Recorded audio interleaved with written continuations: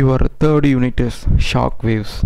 Shock waves means what? Is a sudden uh, steep rise of the pressure wave. Steep finite uh, pressure wave in the compressible fluid flow is called shock waves. Here the shock wave is classified basically into two types normal shock waves and oblique shock waves. I gave uh, this drawing uh, in my background. This is the shock wave. Here we have one wavy line. This is the shock wave and we have this picture.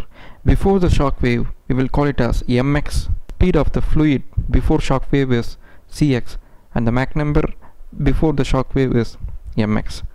Similarly after the shock wave we are calling it as my and cy there's a formula uh, for finding my it is my square is equal to 2 by gamma minus 1 plus mx square by 2 gamma by gamma minus 1 mx square minus 1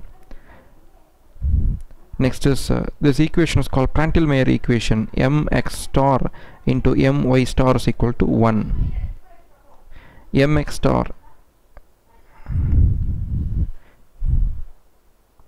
mx star into my square mx star into my star is equal to 1 this is a formula for finding mx and m py by px equal to 2 gamma by gamma plus 1 mx square minus gamma minus 1 plus gamma plus 1 next is one important equation called Rankine-Hugoniot equation. Density across the shock. Density across the shock it is rho y by rho x. I gave this picture next to supersonic wind tunnel. Supersonic wind tunnel it is the diffusion of supersonic flow after the test section takes place through the shock waves. This is called supersonic wind tunnel. And in this uh, we are giving ty by tx and the ratio of py by px. This is uh, called as pressure ratio across the shock. And uh, rho y by rho x is called density ratio across the shock. It is also called as Rankine-Hugoniot equation. Next is eta d. Eta d is called as diffuser efficiency.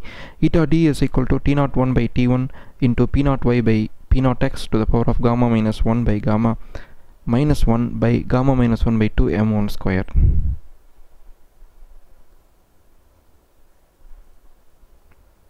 And these are the steps to solve problem before shock and after shock mx properties. Before shock you have to find all the properties of uh, mx it means tx px cx rho x. Whatever you need use your Flois isentropic tables. Use your isentropic tables find all this data then use your normal shock table then find my find the respective my then you need to find py by px dy by tx rho y by rho x. Then from your first step we are having the data of py cx from your first step we are having px cx rho x no? Now substitute this value you can get py ty rho y these are the steps.